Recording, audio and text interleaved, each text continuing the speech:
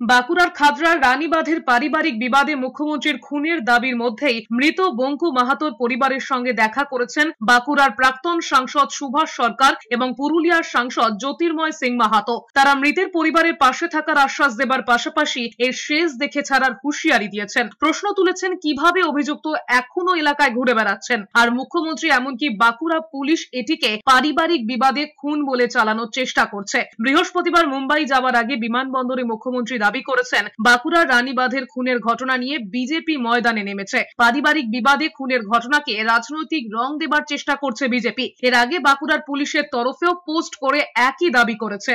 তৃণমূল কংগ্রেস এখানে দিনকে দিন শেষ হতে চলেছে। এই ভিলেজে এই এরিয়াতে।